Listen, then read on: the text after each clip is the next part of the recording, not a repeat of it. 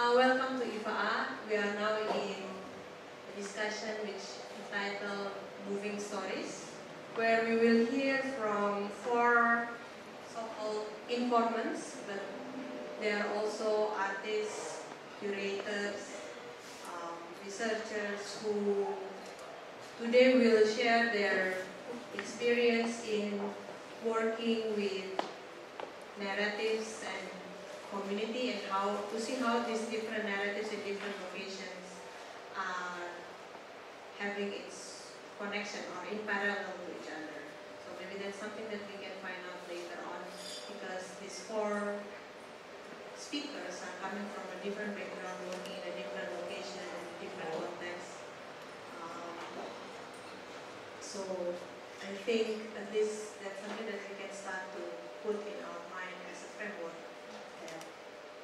Four of our speakers will talk about their experience, practices on working with memory, narratives, and locations and community. Uh, I will. We have four speakers who are here now, uh, but maybe we can just directly start with our first speaker, Gori. Uh, Ari, I will read Ari short bio, although Ari is my friend, but it's good to have uh, information on what he's been doing. So, Ari Sharifuddin, also known as Al Gori, is affiliated as artist, curator, sculptor, producer, graphic designer to Jatiwangi Art Factory in the village of Jatiwangi, West Java, which is Indonesia Rooftop Manufacturing Center. Jatiwangi Art Factory focuses on discourses about local rural life through arts and cultural activities such as festivals, visual art, music, artistic residence, monthly discussion, radio, television broadcast, and education. Ari's main interest is the dynamics of community behavior in rural urban context. So, um, I will give the time to Ari to speak. 30 minutes. Ah. Or too much? Too much.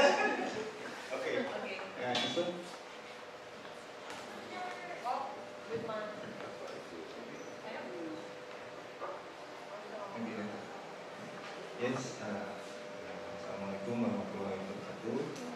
Minal aidin uh, Saya Guri dari Jatiwangi. Yes, but it has to be in English. So, my name is Gori. I'm in West Java, as Dina said in introduction. And uh, I have like in Jatiwangi uh, with like the collective uh, or something like that. The name is Jatiwangi Art Factory with Arief Yudi with several friends uh, in since 2005 and now is like uh, 12 years after 2005. So we are now high school. And, and yes, we since high school, maybe uh, the young people uh, in high school need to be cool and sometimes need to rebel. That's what just two in the young people needs cool or rebel. But it looks cool sometimes. Uh, and uh, also I always uh, working uh, with uh, the uh, related and always kind of have connection with the clay, with the land, with the earth, with the ground, with the also uh, sort of things because Jatiwangi is the style manufacturing. So yes, we uh, also sometimes connected emotionally with that. But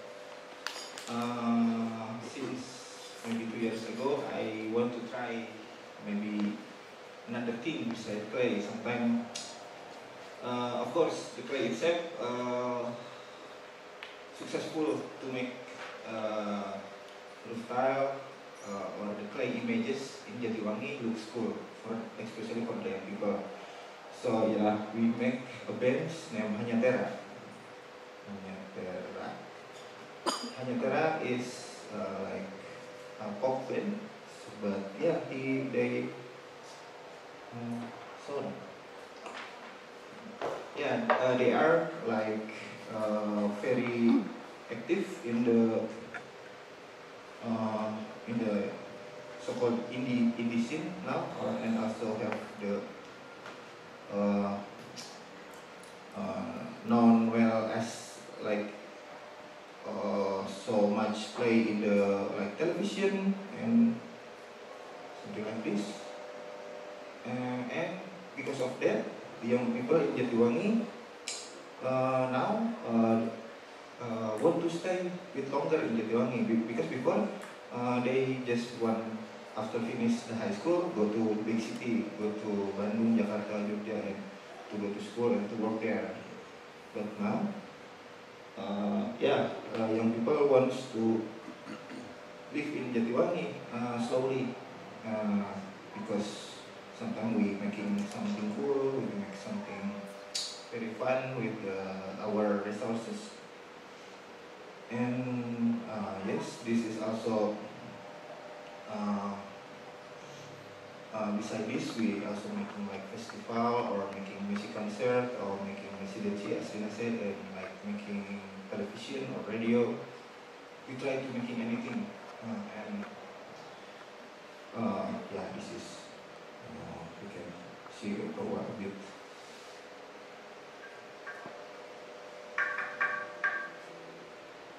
Yeah, the connection is good, so maybe you can find yourself later.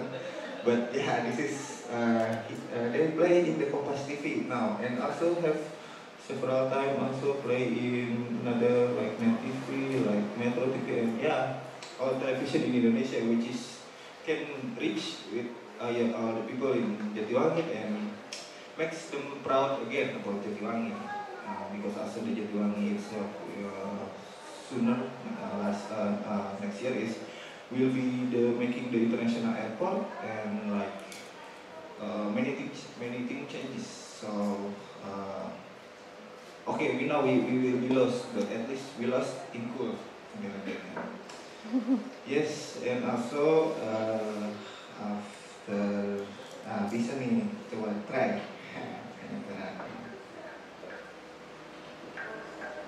Nah, this is Kompas TV. And now, making music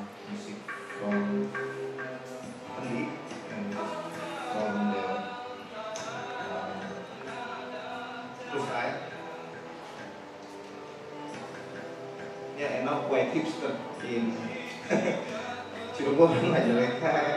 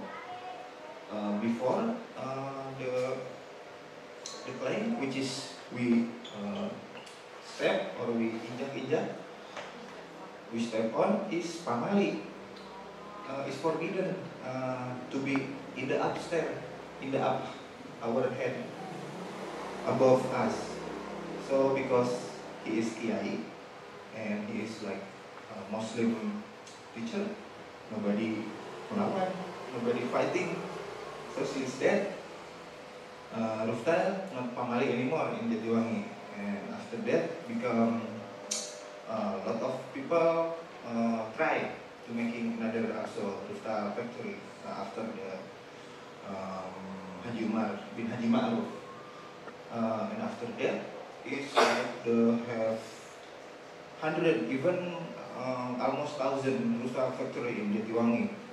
Go up and go down again, and go up again and go down again. In 90, 90s is the very much higher, a lot of uh, demands of the Rufta. So in the uh, Jatiwangi people become suddenly rich and suddenly nothing to do with the money. What happened? I have not money, so they sometimes uh, confused. But uh, after that, after the monetary crisis, uh, the Rusda is uh, uh, also getting down. And up until now, yeah, they slowly also we are uh, lose sometimes uh, getting down, the, getting down. And, yeah, but yeah, since that, uh, in the into the rooftop and getting in touch again with the rooftop, something like that. And yes, menit mas? Menit, okay, yes. And after that, yes, we kind of thinking, okay, maybe the respect, the history is kind of uh, making us uh, uh, know what we are gonna do.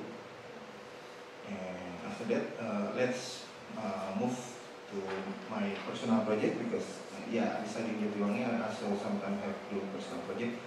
I making uh, like that. Mana ya? Oh itu, ya. Uh, I because uh, in since five, five years, ya itu ada cut. Nah itu, nah, yes. Iya, aja. Uh, yeah, this one. Uh, this one is uh, the we have the name is Chur. Chur is the son of the water when it pur, pur, chur, something like that. And yes, this is uh, since uh, five uh, years ago. Uh, the coffee culture in, for especially in the young people, is much much more uh, getting bigger which is I think is good for me itself because uh, me almost 20 years. Now I'm 32 uh, almost 20 years I drink black coffee. And also I drink coffee mixed with corn in the market because we are the producing good coffee. But we're not drinking good coffee. Our coffee goes to Europe goes to USA goes to Japan goes to Scandinavian so we only drink bad coffee. Bad mixed with corn. Uh, bad, but yeah. We okay, we we be patient, patient. But we, since five years ago, uh, slowly, uh, young people uh, try to uh, cultivate coffee itself in the maybe in the, in the garden, in the, the forest near the yeah for the local consumption and it's good uh, because uh, at least we can drink good coffee and sometimes cheap. So because of the distribution in the locals and the friend. And since uh, maybe two years ago, uh, I maybe uh, just working down in the market, in the traditional market, and uh, see the kukusan. Uh, the kukusan is like for the making rice, the big uh, steamer, kind of steam for steam rice. And uh, I, because also uh, the wave of the coffee uh, in the uh, young people now uh, trying to uh, brew with another kind, so uh, sometimes we have to buy the paper filters. Paper filter is kind of expensive and it's hard to find. So, and also 100,000 per pack. It have like 100 sheet. So, oh, and after throw away. And I notice, this is looks similar. So uh, I kind of like uh, reinventing like the this uh, the big one to the smaller and try to make coffee and and it's uh, very uh, sometimes uh, and uh, slowly after uh, uh, long research so uh, uh, this shape is uh, sometimes good for uh, brew coffee. And after that uh, I have like an exhibition in Jakarta in Bulan Sarina uh, in Sindikat Campur Sari project. So after that uh, have uh, much more bigger audience of the the people who are using this ah saya sudah dah Betul? kan uh, Ari Oh, boleh.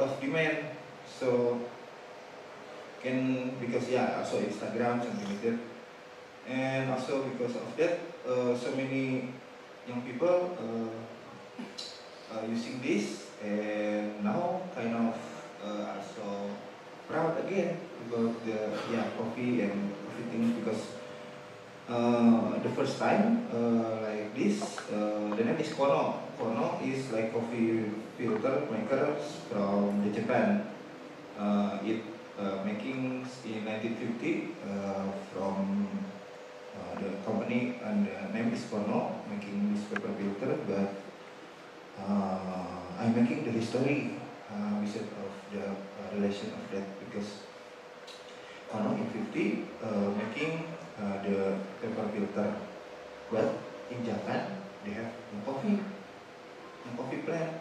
Why Japan is making the coffee filter so I back to the history and I found that yeah the colonization after the Dutch become to the Japan.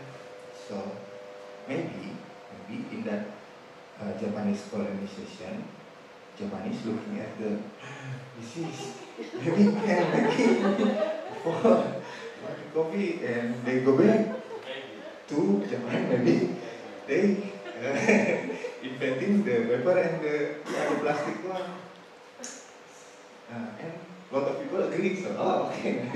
Maybe nice to be the history so yeah I put also that history in the packaging.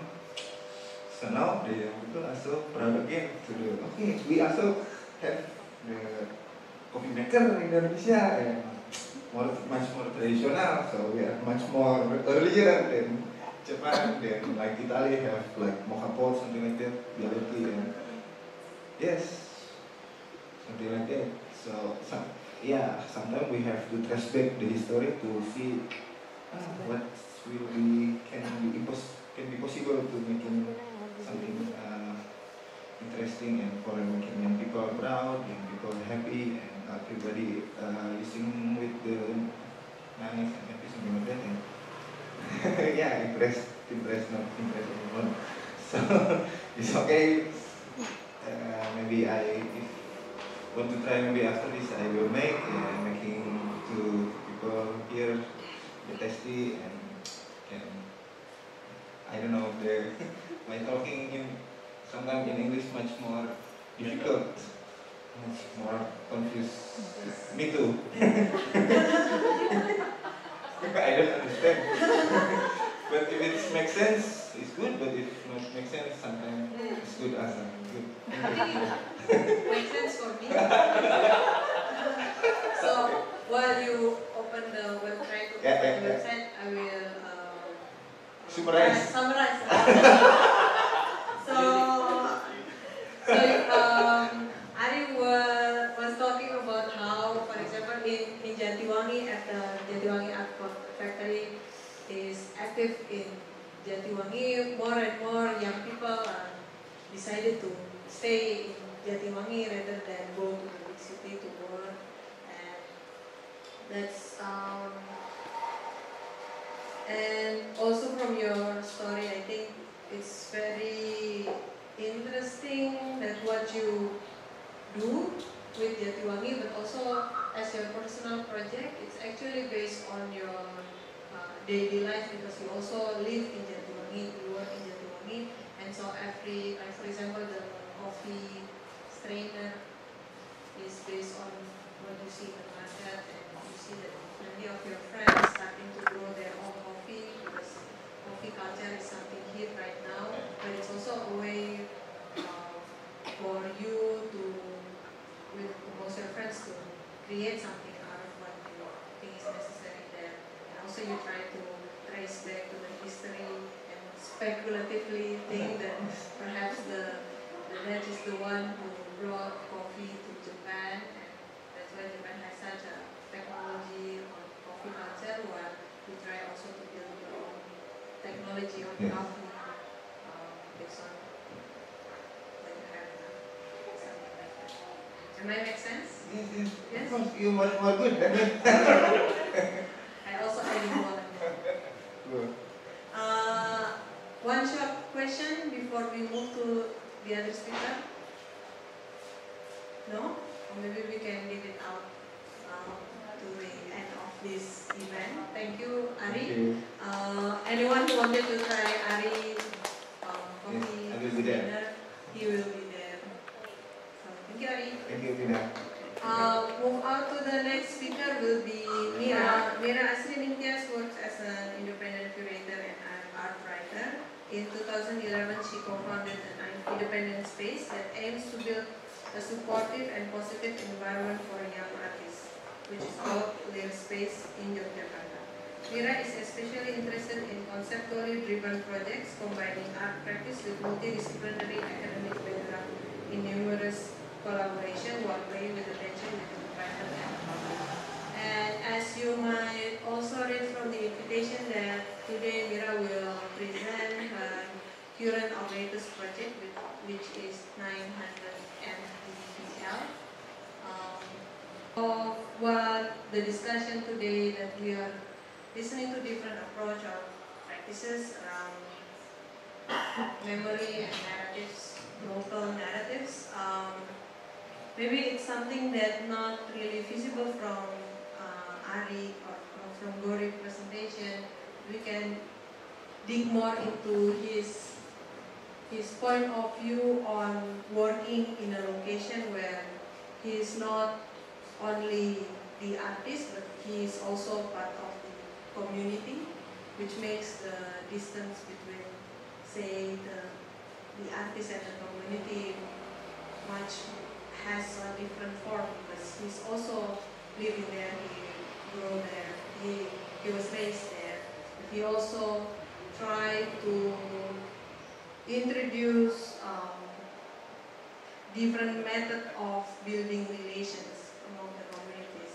Maybe it's not something that we can see because Uri didn't really show the archive of Jatiwangi activities, but it's also something that we can ask him more about this living and working in the same location, connecting stories with information. Oh, ready? yes. So I can um, give the time for Mira to present her project. 20 minutes, yeah. Uh, hello everyone. Um, my name is Mira.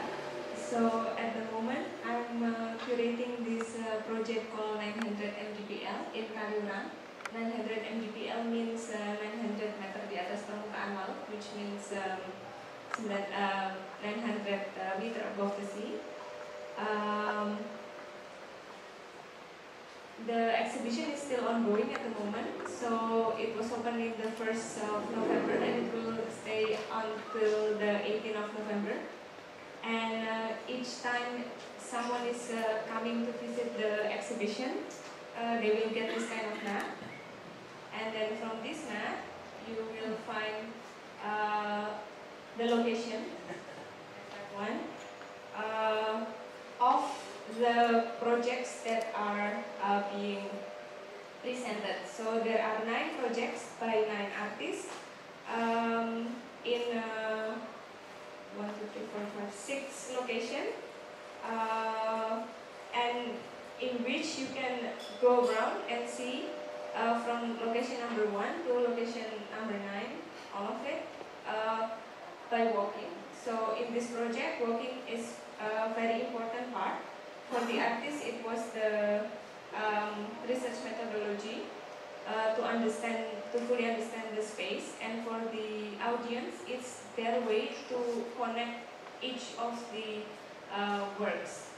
And this is the uh, over here you can see the um, location, the facade of the location, so it's easier to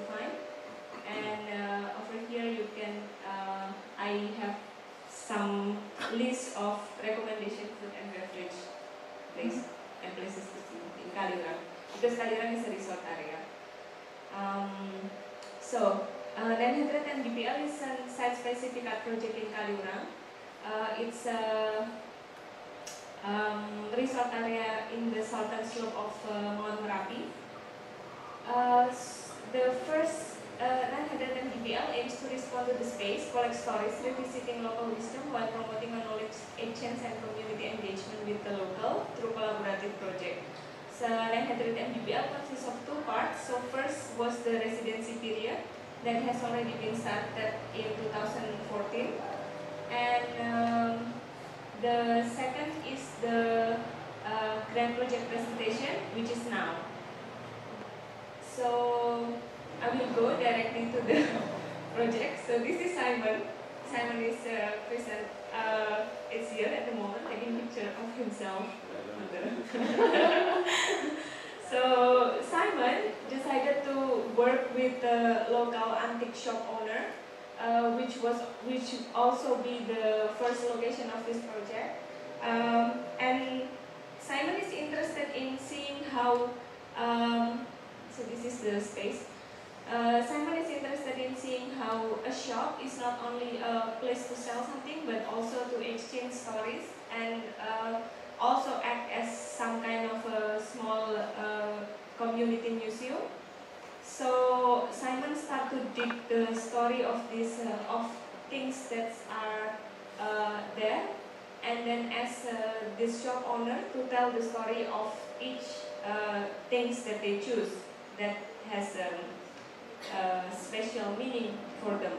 At the same time, um, Simon also make a Instagram uh, Instagram account for this uh, shop, combining the antique shop and also the product, the daily product that they sell, uh, but making a very dry uh, inventory picture of the stuff. Like a, it's it's almost like a museum catalog that you can also see uh, online. So that, that's the first project. And then the second project is uh, by Marianto. Um, oh, and um, because Simon came from all the way from Rotterdam. So he's the only artist who didn't actually do the residency in Kaliurang. So he arrived, and uh, but before we give uh, the background uh, information, uh, Eva did a bit of research for Simon, and then um, and then directly when Simon arrived in the in the shop, he uh, spent lots of time there to know more about the place and all the stuff and the history. Uh, because this space has already been there since 1930s. And then uh, Marianto uh, decided to work on this um, remnant of the house of a, of a mentally ill guy, um, Sibun. So if you are familiar with the Marianto's uh, practice, he usually uh, flatten the canvas with charcoal and then uh, cut the and then scratch the surface to create a painting.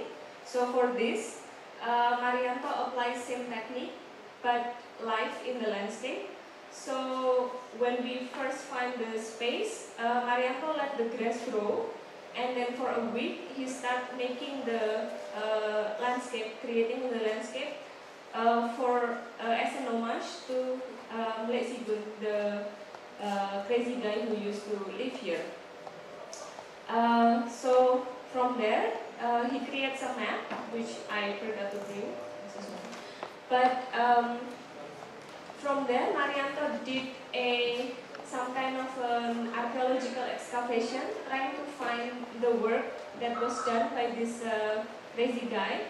Uh, and he used to create these kind of sculptures that has several times uh, almost uh, someone went there and tried to buy the sculptures and the crazy guy did not let him because uh, he said that if these sculptures uh, went missing then my home there is no beauty to this house.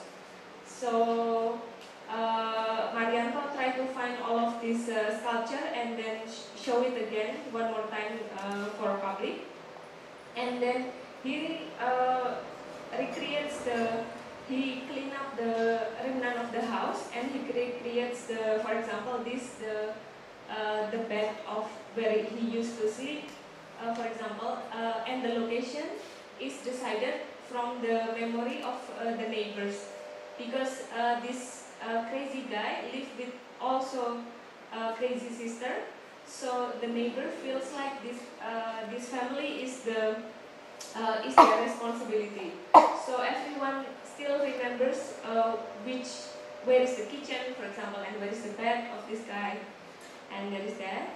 And the flag represents the, uh, the unusual habit that people still remember this guy, uh, by, uh, because this guy used to uh, take the uh, motorbike on a walk, so he's not riding the motorbike, but he took the motorbike on a walk uh, almost every day, sometimes all the way to Jogja and sometimes all the way down. But the motorcycle is um, decorated with the, the flag, with Indonesian flag.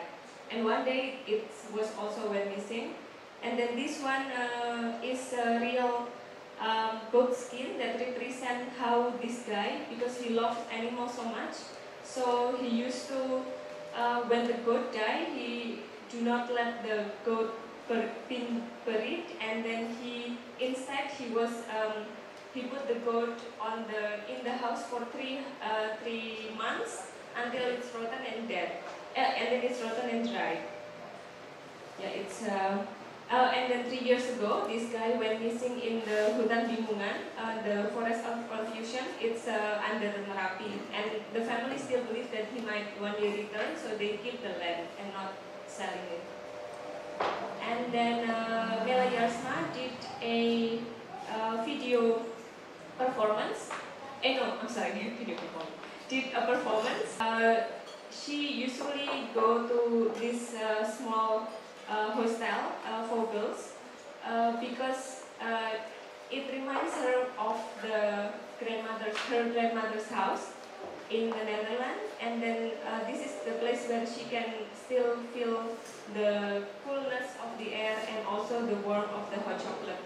So she recreates the hot chocolate for uh, people. Uh, I will show the uh, videos later. And then let's go. And then, uh, Sadi Kalifadani did his uh, project for three uh, since 2015. So we did it simultaneously. Um, he did uh, this uh, project called Walk the Folk, and Walk the Folk is a secret participatory gig uh, where we where everyone is uh, the performer, and it's uh, it's with the spirit of uh, Kado Silang, which is um, the spirit of um, gift exchange between people. So everyone who came uh, give something back to the gig, and um, so um, and there is no there is no idea of um, guest star, even though uh, the musician who came to this uh, who joined this gig are quite famous. Uh, for example, uh, one time we have Rau, uh, Stafsan David, um, Silang Pukau singing, but uh, their um, position is basically the same with, for example, uh, if um, I'm singing there or I'm making coffee for someone there, so it's completely um, equal. And then Dimas Maulana is not an artist, he's a historian uh, who retell the story, to recreate this uh, space and then make a sound work, uh, to recreate the story of the first um, the first man who lived in uh. So he traced the genealogy of the uh, people in Kaliurang. So basically, the real family in Kaliurang, everyone in Kaliurang are family because it started from this uh, guy who opens up the forest. Uh, and um, when um, Dimas traced the the timeline of this uh, of this uh, time when uh, Kaliurang opened, uh, it was the same with the time where um, there was the bandit-bandit Jawa, which is the um, the thief of the Japanese thief who stole from the Dutch and give away back to the people.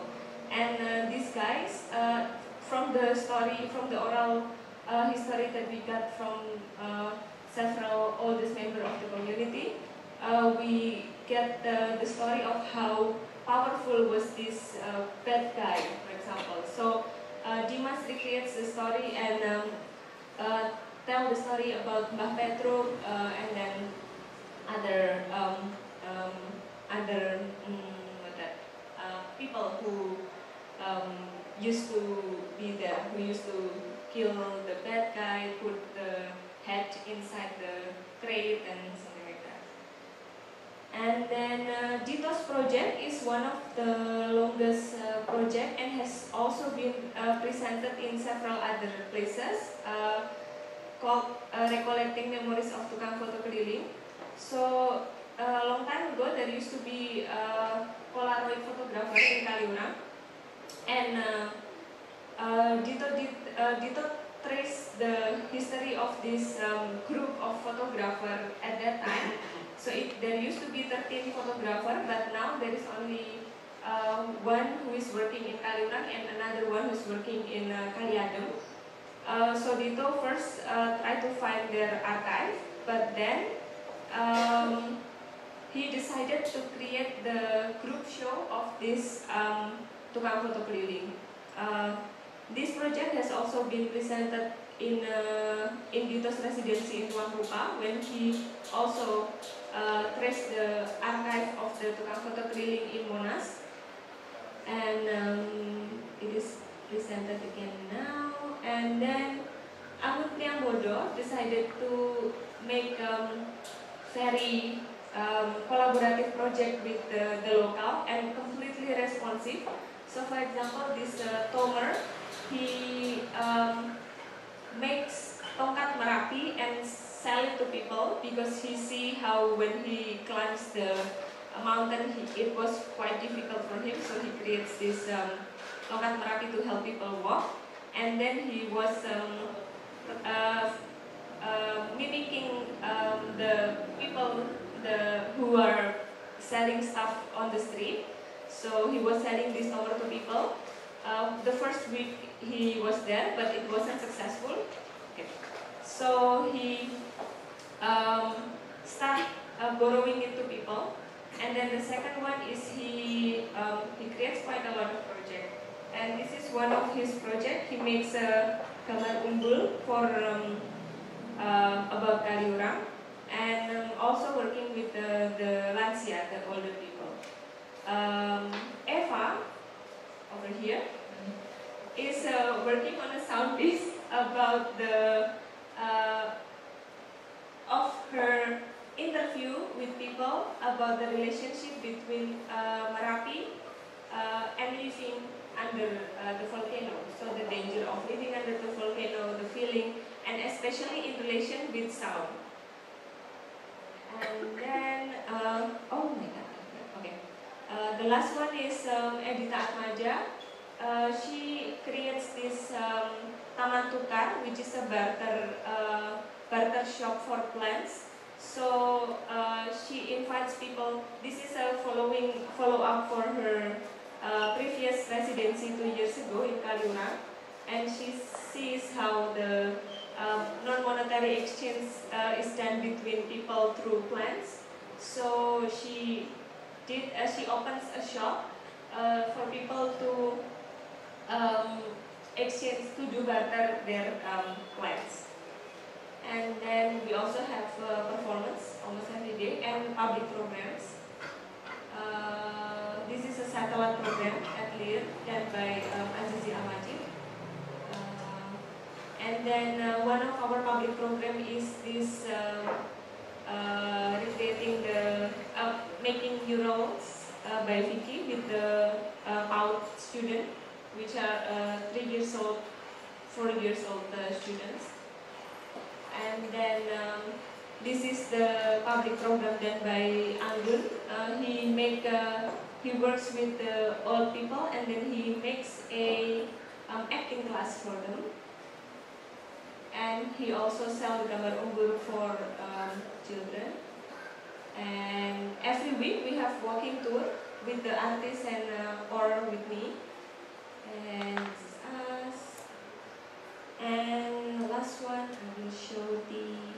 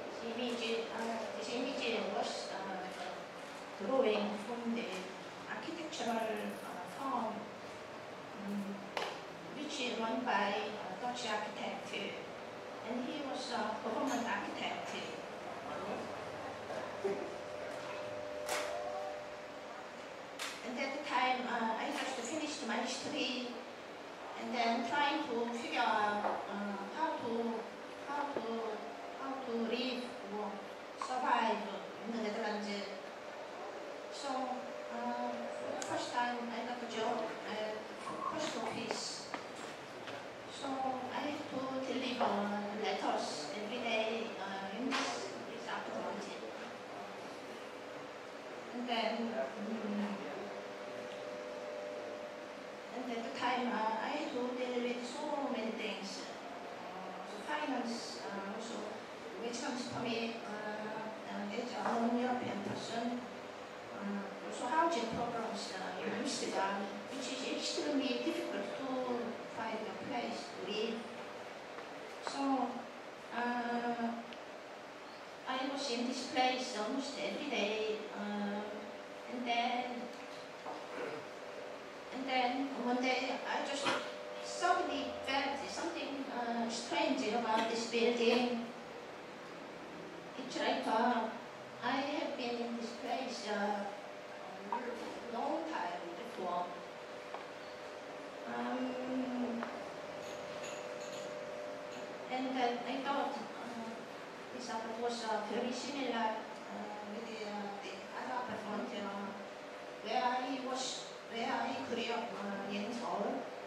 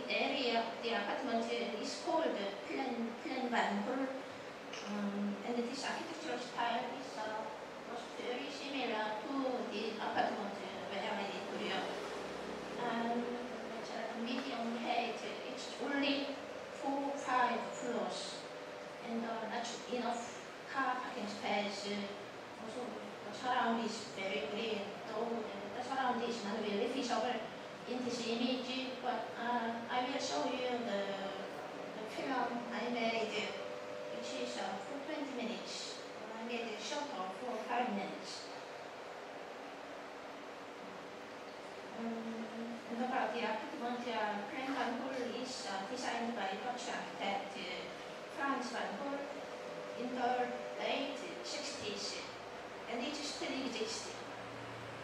Um, this apartment was realized as experimental housing in a way of solving housing problems in Amsterdam. The architectural style is uh, quite unique design. It looks a bit like uh, Amsterdam Almond, where huge apartment uh, complex is located. Um, and uh, the other unique thing is uh, the, uh, connected uh. Um, like, uh, like uh, uh, to, into the flight in the airport.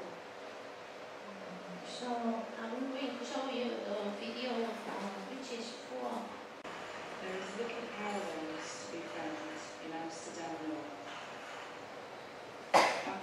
Van Gogh's housing estates in Buikslotermeer.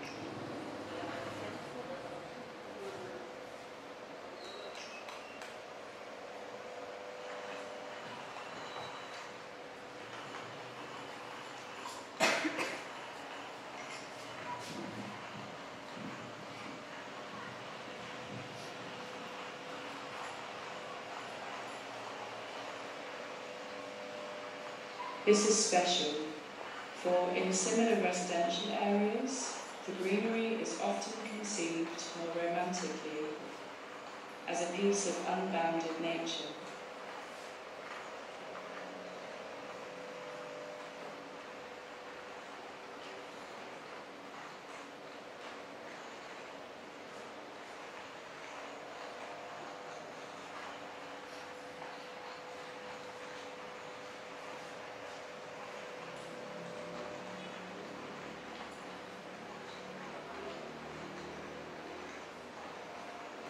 Undutch green, luscious green. Which I really, really want to feel proud of. You want to know where you are from. Because if you know where you are,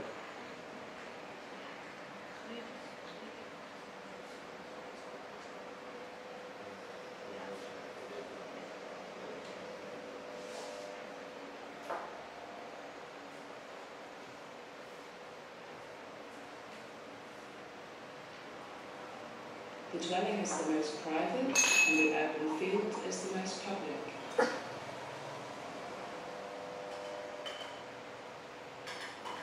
These experimental projects were often characterised by an extreme degree of interpenetration of the home and public space.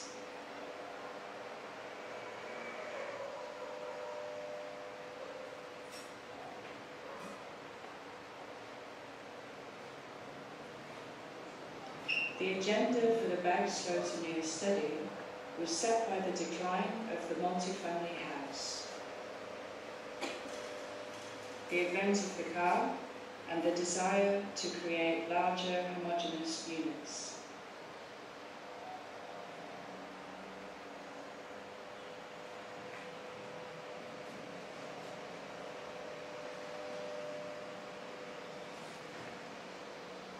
Each and every apartment is within shouting distance of ground level, and I find the scale to be uniformly pleasant. The elevated street is broad and useful.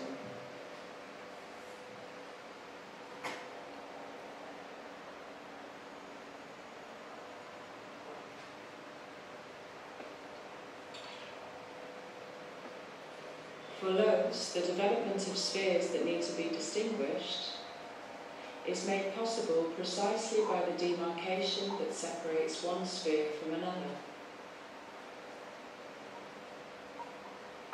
This method allows an all too literal representation of everyday life to be avoided. Demarcation implies setting limits. That is to say, the development of the elevation as a separate architectural project.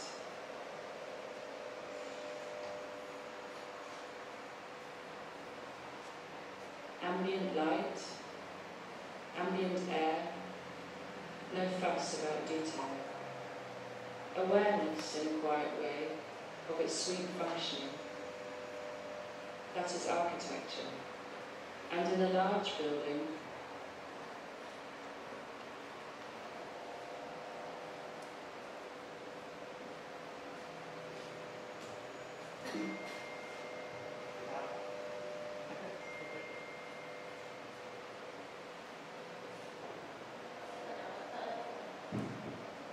next project, uh, I started to research uh, the next one since 2015.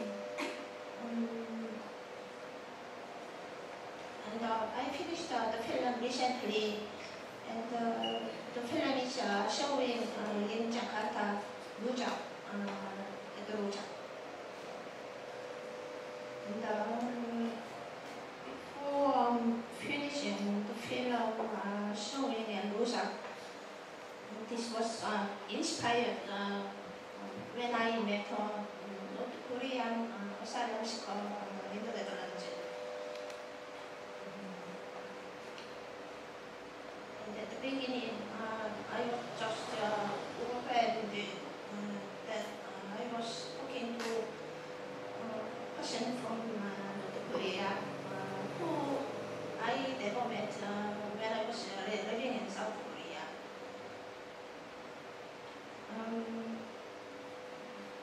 and at the same time, um, some people uh, I met uh, in Korea also came up in my mind who, who uh, used to go work at um, my mother's restaurant uh, where she had one for 25 years. And I think uh, the, the half of the ladies who worked for my mother, uh, they say that uh, they are from China and uh, they are Chinese Koreans. And um, if I look back, then no one did. And, uh, and, and uh, my feeling was um, maybe these ladies were afraid to say that uh, they are from North Korea because there is a uh, hu- huge discrimination of North Korean people in South Korea. So this is a huge stigma for them. So when I met uh, when I met uh, lady uh, in, in the Netherlands, she, I visited her at the asylum center, and um, and I was then I was interested in, in the building where she stayed. Because we talked uh, so much her life, uh, how she escaped from Korea to China, and how she ended up uh, living in the Netherlands. Um, but some, and uh, most of the times I document uh, her story. And sometimes uh, some things uh, wasn't match with what she said previously. So uh, I started to feel a bit uncomfortable uh, whether I Should trust her or not. And then strangely, I trusted uh, the building, the space more than more than her somehow. And then uh, I started to res- research about uh, the, the building. Uh, and uh, the history is um, this building was uh, designed by uh, Dutch uh, general uh, military and uh, architect uh, just before the Second World War. And this, building had to be finished uh, in 11 months' time. Uh, and uh, 18 buildings were quickly built up uh, throughout the, the Netherlands. So uh, this, is- this infographic is from the Dutch Refugee Council, which is counted in uh, September uh, 2015. Um, and uh, the number of the refugees uh, were uh, the most uh, many refugees are mostly from Syria and then Eritrea, Ethiopia, Iraq, and then Afghanistan and uh, Yemen, Yemen. So these numbers uh, represent not only the, the, the refugee crisis in Europe, but also the colonial histories in the past. For example, Eritrea and Ethiopia, Ethiopia was colonized by Italy in uh, 18th century, and Iraq was, was because of the 9/11 terror in the United States. Um, so the building was uh, represented not just about the future crisis, but also the colonial history. So it had a quite complex uh, uh, content.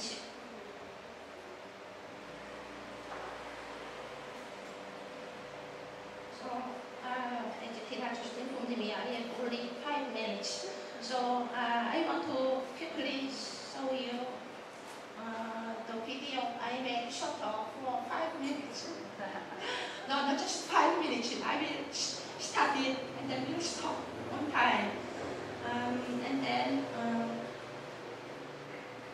so this is the this is the, the, the location of the can camp. And when I research uh, the history of the building, and uh, I got this information from uh, uh, architectural historians, uh, Koreans in uh, so take specifically research about the, the, the building uh, where they are located. Uh, Mira.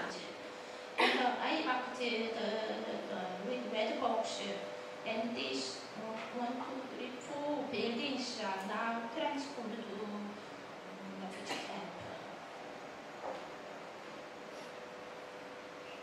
And, uh and then I visited uh the buildings uh, And uh, this building, this building was uh, the, the, military service uh, terminated.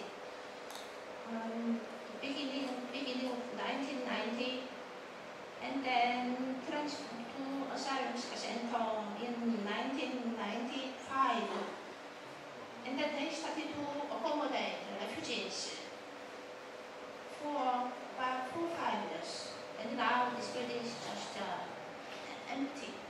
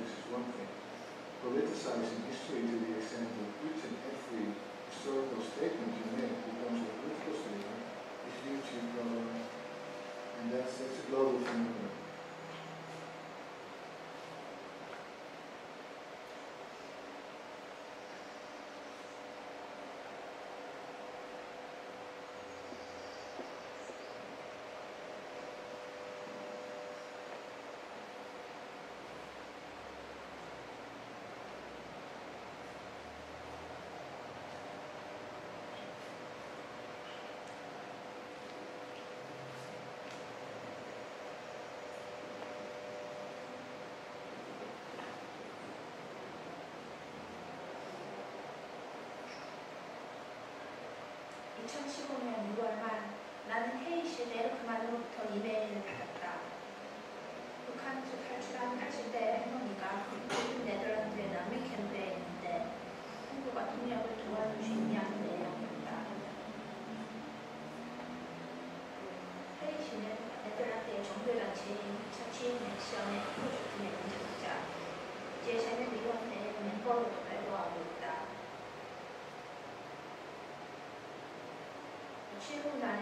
Yeah.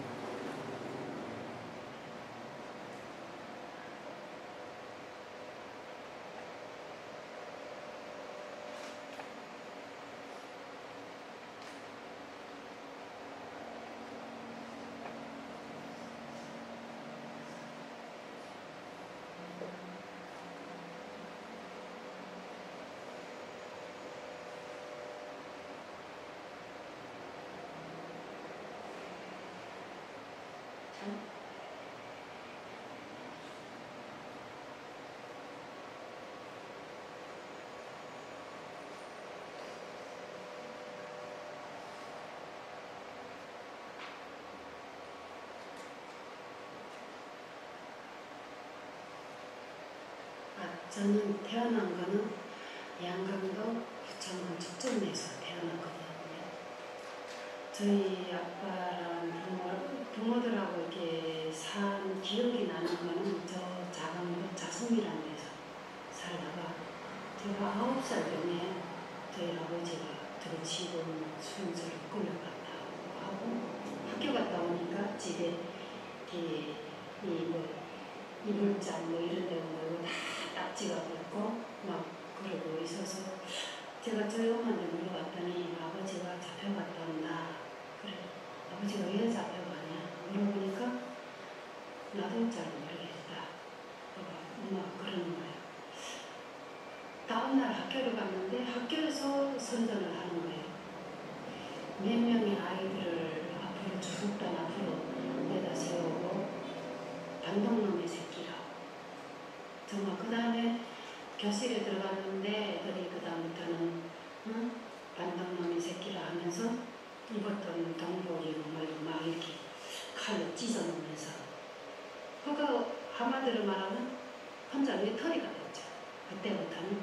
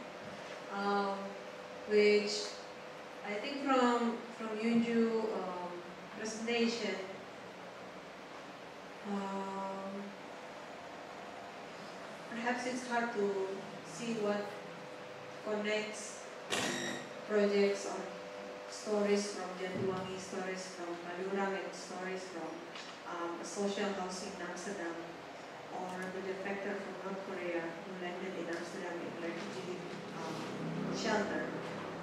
Yet, I think in still in, in the framework of this uh, event, moving stories, moving involve the movement from one location to another, from one to other place. Um, I would like us maybe to think more whenever we work on history. If history move or story move, to which direction it moves and from where? From where we are speaking, on, be, on behalf of whom, and for whom, for whom. Like, there may be a better summary on the questions that I have proposed to Lori and Mira before.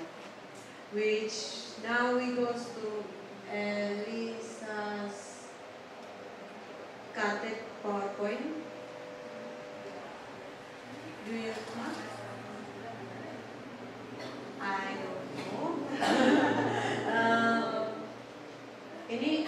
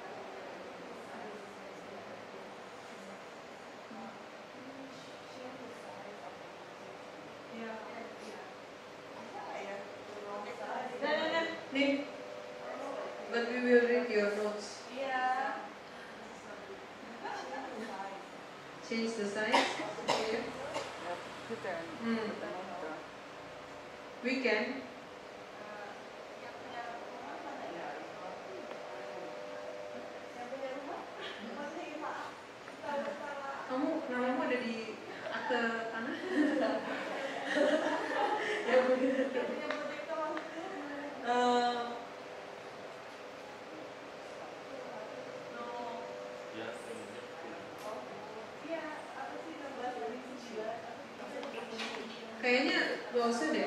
Oh udah biasa aja. Soalnya aku galak gitu. Soalnya kita udah Yeah. mau Okay, akhir. Yeah, sorry, this is, uh, I'm sorry with the technical uh, difficulties before uh, because I, you know, uh, I like to make a presentation in 16 to 9 uh, uh, proportion, so apparently that is not fit to the projector. Okay, so my name is Elisa Sutanudjaja. I'm a founder and uh, the executive director for a small center in Jakarta called Rujak Center for Urban Studies. So we are uh, what we call a think act tank. So basically, what we did, what we think, we implement it as soon as possible if uh, needed. So uh, we focusing on urban uh, and regional issue, and, and we also uh, promoting uh, eco- ecological approach for uh, redevelopment of the cities. So, but uh, uh, but when we doing our uh, advocacy or our activities, uh, we are focusing. We also using art and culture because uh, we are bunch of architects, and we know that we are architects, meaning also technocrat sometimes. So we think that architect it's very difficult for architect to work together, sometimes to work together with people. So that's why we sometimes invite artists to work together because artists is more. Uh, uh, they are not judgment toward uh, people and they are more easy and fun to work with. So that's our point of view as a architects seeing the artist. Okay. So we have a program called Citizen Urbanism right, now. So we, I, as a as a director, I have a mandate, mandate to explain about what is our center, what is our program. So we have this program, and basically it's how we use knowledge to change the city or change the uh, uh, people uh, in uh, people view in uh, on their own cities and how they can understand the cities better. So we are uh, activities in these uh, eight cities uh, so far, and it will be ended soon. So this is our network, network, and I, I would like to invite you to see our space in Cikini. Uh, this is a place what we call as Ruang Tengah because it's, it's basically it's very simple. It's in the, located in the center of the space, or we could just call it uh, Tengah or middle of the space. And it's a library, but sometimes can be function as a uh, for event as well. So we have a platform called Memutarakan Seni, say uh, translation in English meaning we uh, saying with the art. Basically, it's a collaborative practice of research and together with the artists about the daily life acti- uh, activities and experience uh, in North Jakarta. And we want to make this project uh, to, uh, to invite people who want to, uh, what is your uh, about the best of your cities. Uh, and now we are uh, moving to our lifelong project. Uh, uh, it's not that long actually, but uh, we didn't realize that we uh, the centers uh, was started in 2009, but uh, we are not that old, only no 2010, yeah 2010, uh, seven years. But at the time, we always have uh, to resist about the technocratic approach of urban development. So we can say that we always resist to most of the urban policies uh, which is happening not only in Jakarta but also in other cities and how the government viewing uh, uh, infrastructure development. So uh, because of we got invitation from Sun Yong Ko, which is an independent curator from uh, Kosovo, uh, so we just realized, oh, we have to archiving our own activities. I mean, by meaning saying we, it's it, me as a as Rujak and also the partner of my partner uh, Marco Kusumawijaya, who also a founder of Rujak. So that's what we did. We are archiving what we did so far in the past, and and we continue to do it so after uh, the exhibition in Seoul. So uh, I just want to give you a context about Jakarta. So if you see, this is a map in 1930 by the colonial uh, Dutch government at the time. Uh, so if you see there's a red one and a uh, green one, uh, green one doesn't mean it's a green space, it's a kampung. So if you see the map of Batavia, uh, so the colonial government always differentiate between the formal space, which is the red one, which is uh, built by them, designed by them, or occupied by them, and the green one is what you call as, you know, the famous word now, pribumi. Ah, yeah. Anyway, so that's at that time they call it that way. So, uh, but uh, the development between formal and informal space is always uh, growing together. So uh, uh, this is to show you how this uh, this close relationship is also influencing what Jakarta now. And now it become like this expanding. So where uh, where where this one is located, which is Jatinegara, now is located in somewhere here. So now it's expanding like four or five times from 1930. Uh, so what government believe uh, uh, for uh, the best for Jakarta is something like this. Building infrastructure, big infrastructure, expensive infrastructure, they want to do this kind of thing for the flood. Uh, uh, they said you have to build uh, the bigger wall, the stronger wall, the better. So it, always that kind of approach. While we always, and this kind of approach is, has also causing a lot of victims. Uh, that's why in, in 2014 to 2016, we are facing what we call as the most dangerous year for urban poor. Because during those two years, we, uh, there are 300, uh, 306 eviction happened in Jakarta, which is causing like 50,000 people dislocated uh, during those two years. So that's why uh, this is our view of our uh, urban planning so far in Jakarta. So this is the big two eviction happened in one in 2006, both are in 2016. The first one is in Bukit Duri and the second one is uh, Bukit Duri in South Jakarta and the second one uh, in Aquarium in North Jakarta. Uh, so uh, what we see as urban development is always about power relation between the government and what they see as, as what they call as a people. And we always see that right now the approach always about like a neocolonialism. So uh, there is no participation or collaboration in in this in, in making decision what best for the citizen. Uh, so that's why this kind of uh, scenario is always happen. Uh, it keep repeating. Uh, so that's why we, we uh, for Marco, for example, he, because he's become an urban activist for almost 30 years now, uh, no, no, hang on, 20 years, and he's kind of confused why it kept happening. So it, it's mean that are we failing or something? So this is also a reflection from Wardah Hafidz. He's a, she's a, a urban activist. Uh, she's a, one of the stronger women activists. Uh, for I think he's been there for like 40 years. And uh, this is uh, what uh, he made a, makes a story about after five years, after she uh, made an organization called Urban Poor Consortium, uh, especially to organize urban poor communities in, uh, in, in facing the eviction, in, inequality, and all the unfairness. but he what when we uh, uh, read this, it, this this writing actually in 2001, and see, and uh, we just surprised how re relevant this to today's societies, like in 2017.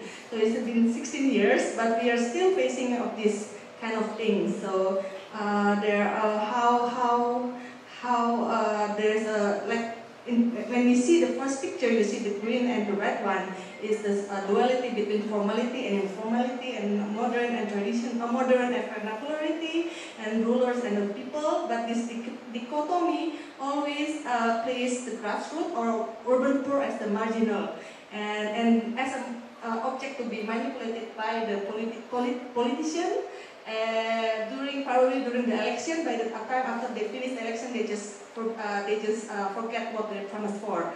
Uh, so this our question uh, when we start collecting a type uh, for Sunyoung at the time. What kind of response in North Jakarta, wherever, about this development thing? what is the everyday practice that deployed by all groups? What kind of tactic they use? Uh, and how this practice, the selecting practice or selecting tactics, uh, in reproducing this, shaping, shaping or imagining uh, the city. So this is, uh, so far uh, we identified eight strategies uh, holding our ground, meaning that they're not leaving their space, even though it's already affected, they just come back. Uh, it's a pre- preemptive transformation, meaning that they try to make the environment better before they got affected. Soft diplomacy, this is uh, uh, using arts and culture, document, documentary and all those things. Uh, co-production of knowledge, they produce books, they produce writings, articles and all those things. Uh, they have network between their own self and partnership with us, for example, and doing legal action and legitimation. So this is all our, strategies done by them. Uh, and I would like to show uh, number two, three, four, five and eight in this tale of the two kampungs. So this is two kampung. The first one, the the uh, the, uh, the circle one is already affected in 2016, and, uh, and these two uh, got uh, uh, got their first notice in 2015. But the second one have a preemptive transformation uh, uh, strategy to change uh, the environment become desirable to government or to, to the media. So I would like to talk about the second kampung. Uh, so they, this is the before uh, they doing the what we call a preemptive transformation. So this is like regular uh, what you call slums. Uh, it's a lot of garbage and all the houses is reaching to the river and all those things.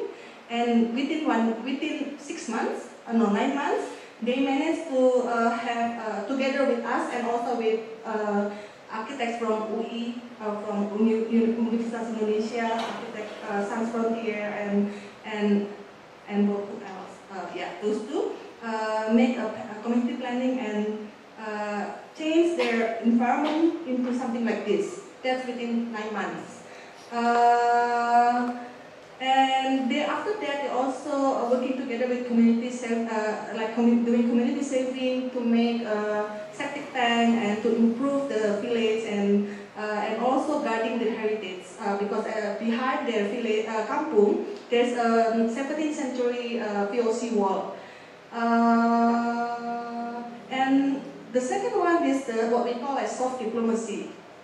Uh, so i- within uh, within one year, uh, no, hang on, nine months, at least there are four uh, different art activities happen. Uh, the first one uh, is called Freizeit Dan Sejenis. This is a collaboration with three uh, German artists and one Dutch uh, artist and two Indonesian artists, which is Irwan Ahmett and Tita Salina.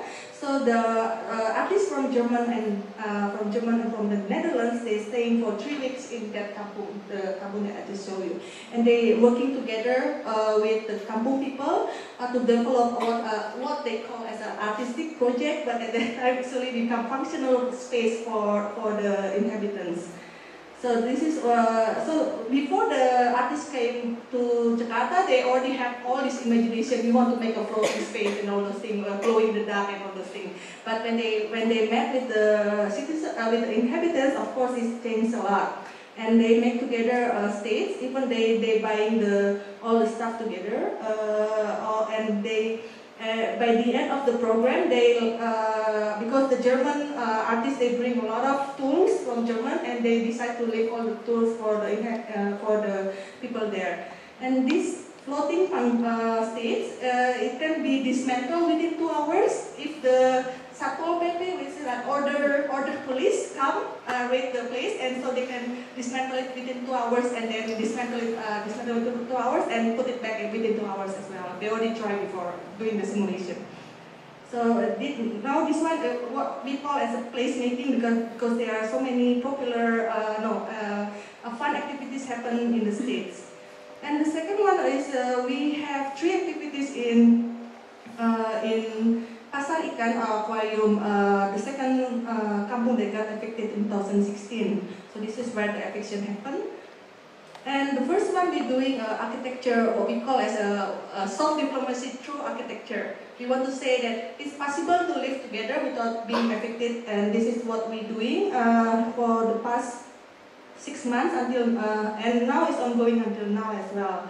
So this one become, this image become popular during when we have, uh, what's that, Pilkada election, governor election, because I don't know why suddenly the political party decide to use this image as one of the, their campaign, saying that uh, we our approach is different with the previous governor and all those things. So the second one actually is the video by Tita uh, Salina. I think is you most of you already know her. And this actually is very interesting, and because she released the video in uh, during the uh, election uh, day. Uh, I skip this one. Skip this one. Ah, this is the last project by uh, us and Jun Kitazawa and the people of Kampung Aquarium. We making uh, what, uh, what we call lomba media or idol home uh, ideal home contest. Uh, so the, uh, every Independence Day we always have a celebration or, or kind of race, but this all kind of contest. But this time in Kampung Aquarium we, we try to make a, a contest that invite citizens to imagine what kind of your ideal, ideal of home is. So she, uh, he lived there for, no, he went there every day within three weeks and they built together uh, all kind of uh, model, uh, home model. Uh, this is during the event and presentation by the by inhabitants.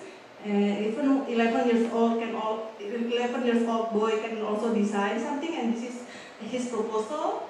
And this is during uh, what's that? Uh, 14, 14 and ah, and then we and and after that uh, uh, there's our uh, they, they they select which one they favorite and they got the winner and the winner actually reflecting their their past ideal home which is uh, elevated elevated houses. Uh, this is our exhibition in Arko, uh, created by Sunyoung, uh, and and because of these activities, uh, like I said before, uh, we are inspired to do the same exhibition in Goethe Institute for last September, and we collecting all the kind of strategy by citizens, by activists, and put it here, including the last the last art activities by Kitazawa. And right now in our space, uh, we have we also have a, a, a, exhibition and also a screening uh, from Yunju uh, video. You were you, didn't see the video, but you can you can find it in our place in Cikini, and uh, and this is uh, when we have the event yesterday. Uh, is it yesterday or two days ago? Yesterday two days, uh, days ago, uh, where Angga and also Yunju and also Sunyoung and uh, Watchdog, uh, who also make Belakang Hotel, right? Uh, and uh, and also Algori uh, Jatiwangi also present. And we also invite everyone to use our space. Right now we have so many space and we don't know how to use it. So yeah, you know. okay, okay. This is for me. Thank you. Again I forgot to read or to explain Elisa uh, short bio, but her short bio is very short. She's the founder of Rujak. so it's almost six. I would like to open up the floor for question and answer. Anyone? Or maybe from oh, Angga. Well, this question is for Elisa. For you. well, while you explained the map of Batavia during the 30s, uh, there was an exposure on distinction between pribumi and the opposite. Uh, I'm curious on how relevant is the term pribumi on Jakarta today. yeah. yeah, yeah, that's the question. You know, today, uh, no, no, tomorrow there will be a Pribumi fair located in Waduk. If you know where Waduk Pluit located, it's next to Chinese uh, communities, uh, uh, not middle class, even uh, is an ex- exclusive area, right? Rich people, where Chinese rich people live. Next to that, they have this Pribumi Fair event. So I guess uh, I think uh, now it's become relevant relevant in many ways. One because of there's uh, of course because of the political issue, and in within two years we're going to have a presidential campaign, like it or not. Uh, I don't like it actually. Uh, can we select it like randomly? anyway, so uh, and that's become relevant. Everyone likes to use that uh, word, uh, and then now become relevant because of uh, post what I call as post new order.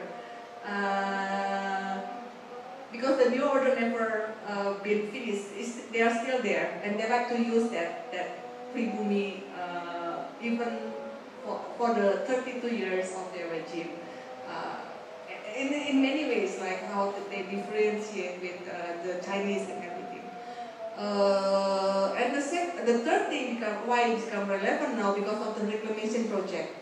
Uh, so the reclamation project, uh, even though it's, some of them is owned by the state-owned company of uh, some of the island, but the one who doing and finalize and uh, doing it now is a is a Chinese uh, descendant-owned real estate company, and it's not helpful because they they they they promote it uh, promote the, the real estate to, uh, exclusively to only within Chinese communities or to Hong Kong or China or Singapore.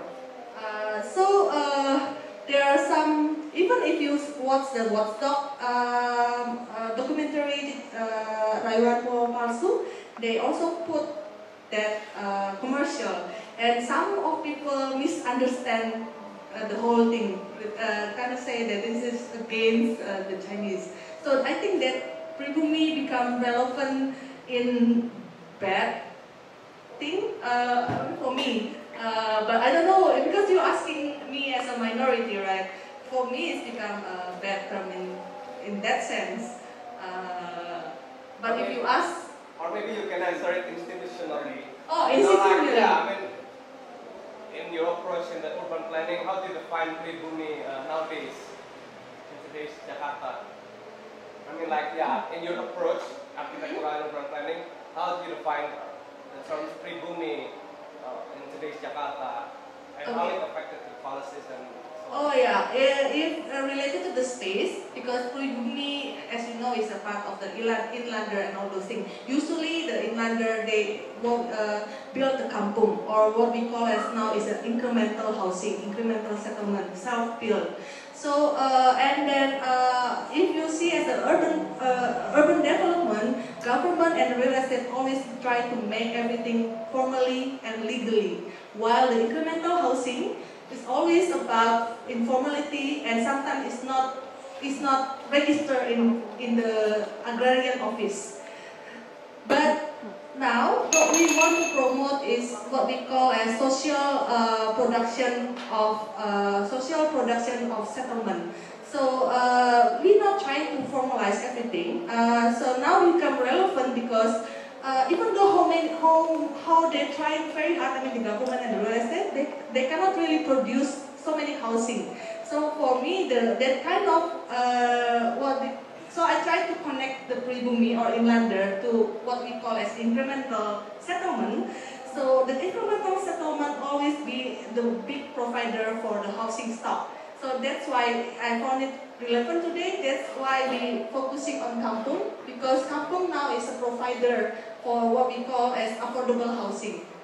So yeah, uh, i- uh, for us, that's what uh, we say. It's not about pribumi, but mostly about what peop what we call as people solution.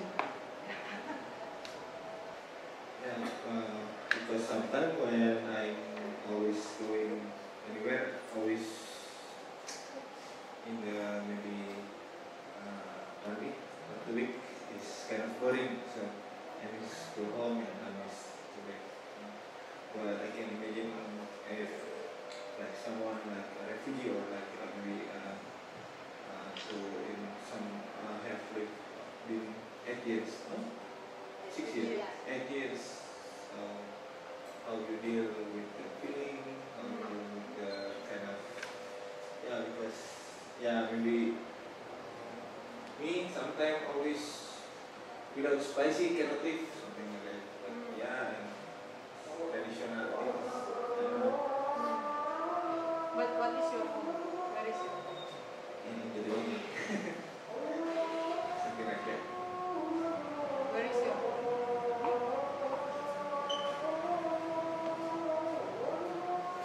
I asked the question about home because it's also the question of where do you belong to or where is the place where you feel like it's yours or um, that you have the positions on speaking on behalf of the location because that's also often the meanings of being at home or coming from a home.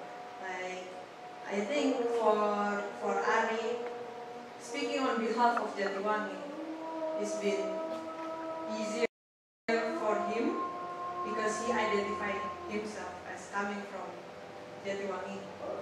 But you, as in your work, we hear the story of this woman coming from North Korea, but with the landscape of Netherlands.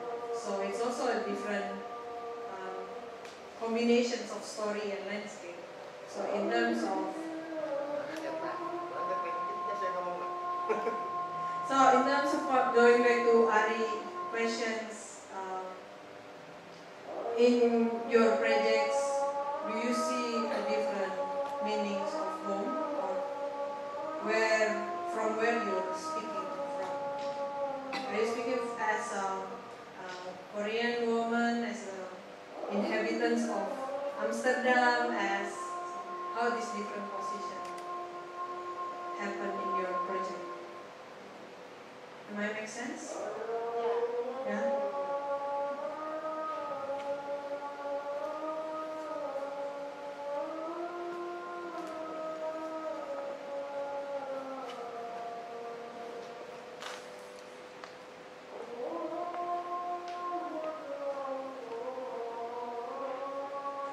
Yeah, as I, as I responded to Ari, that uh, I always miss home. Uh, but at the same time, I always want to escape from home. They are mm, very uh, equal to me.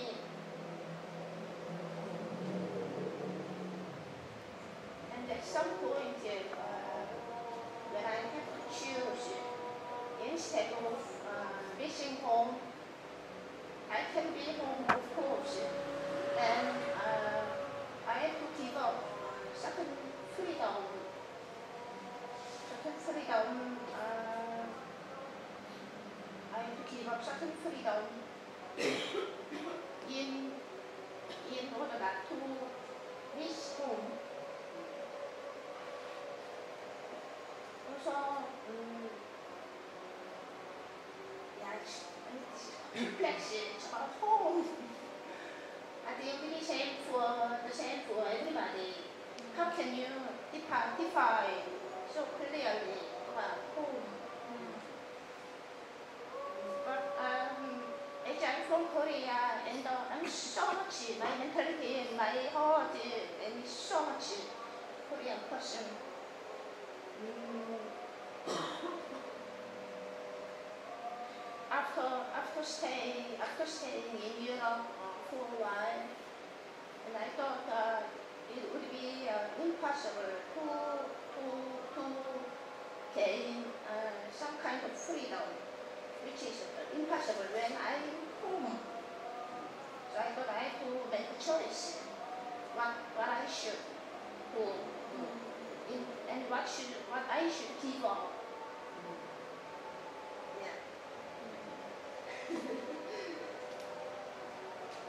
and then the question also can goes to Mira. What does it mean to work in Kaliurang? As it is your home, but it's also the place that you choose as your working locations. So what are the privileges and the challenges that you uh, face making projects in your own home? Or is it your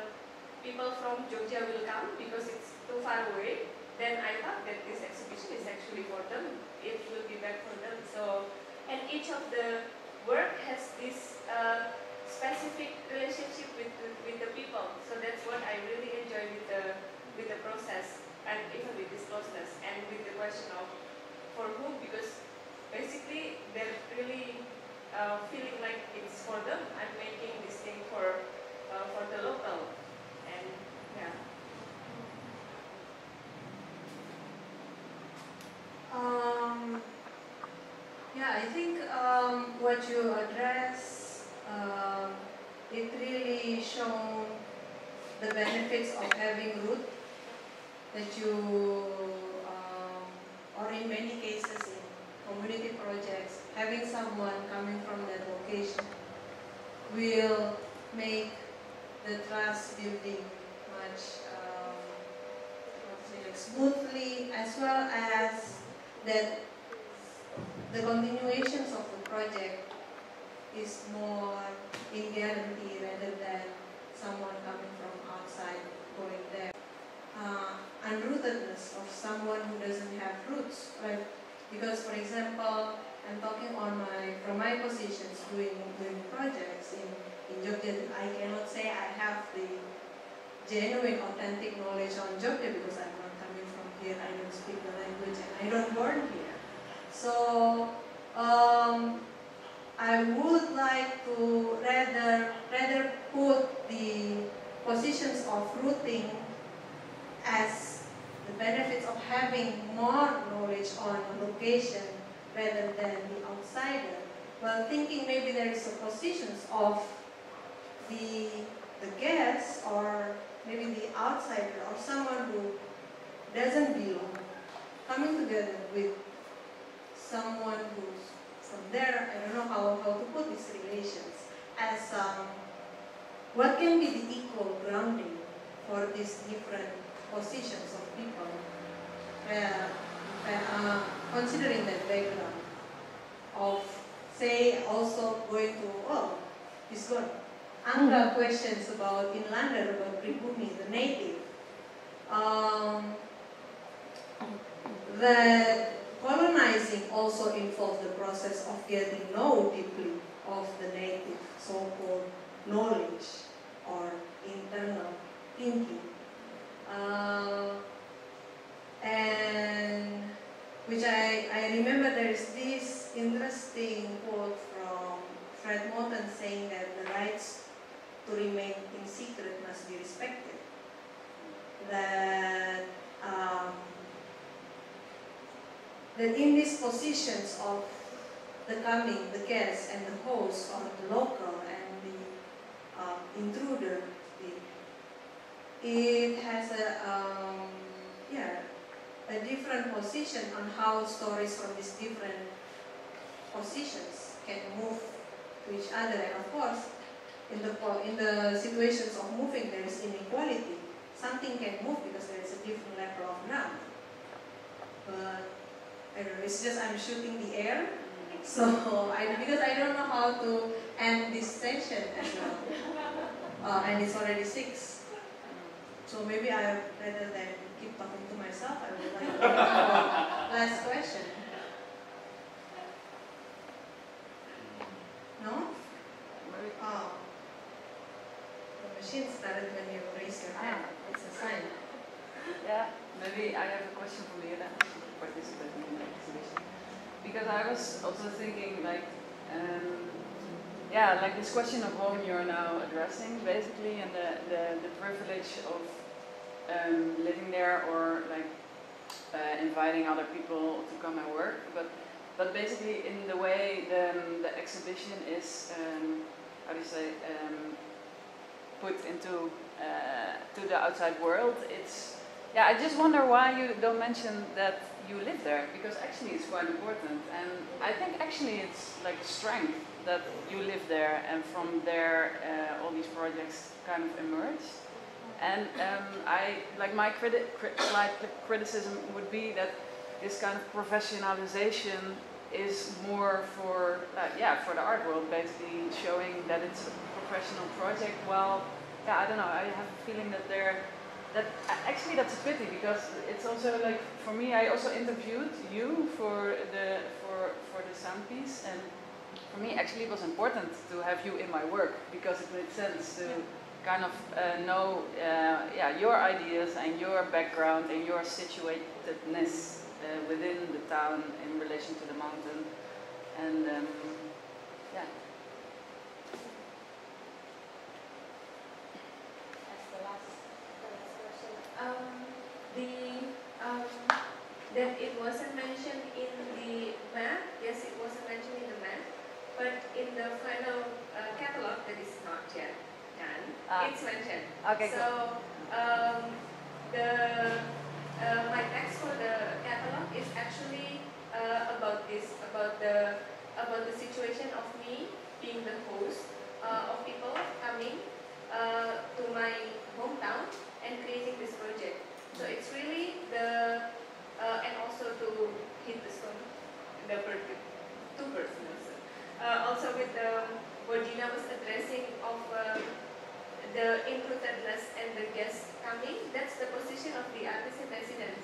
So um, I'm becoming the, the one who has the root there, inviting people, uh, inviting artists who don't actually have the roots there. Um, and then the third includedness is the position of the audience because um, for the, the local audience, it's, it's really like creating an homage for the uh, small personal stories of the people. So, for example, for Mariano's work, it's the homage for the uh, for the crazy guy, but for the neighbors, uh, they still feel deeply uh, lost of this uh, crazy guy. So, uh, for them to be reminded of this still, they they are and they are still very hopeful, and the family even they are still very hopeful. So for me, it's um it's an homage to the small personal stories of uh, people around Kaliurang actually. But um, for the uh, audience, for example, who are coming there, uh, their position as um, intruder actually coming inside, for example, to pos pengamatan Gunung Merapi and um, uh, having this uh, guy waiting there uh, doing nothing, or no, watching the mountain, and then um, having this foreign guest that he doesn't know and um, actually feeling excited for is um, also an interesting position. So that would be on the text, but not yet. But coming up. Yeah. Yes, you because you're Final my question. friend. For a discount, for a discount. Well, I get a discount. right? Yes. Well, it's, it's good because my question was actually a little bit about money.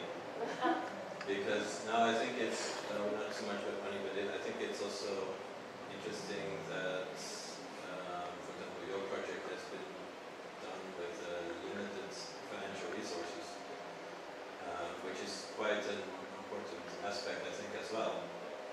Um, because it, it searches for some kind of different uh, resourcefulness, let's say, how to engage with a, with a community or with a group. And in that sense, you could say like your roots or your rooting, for example, is your biggest asset actually.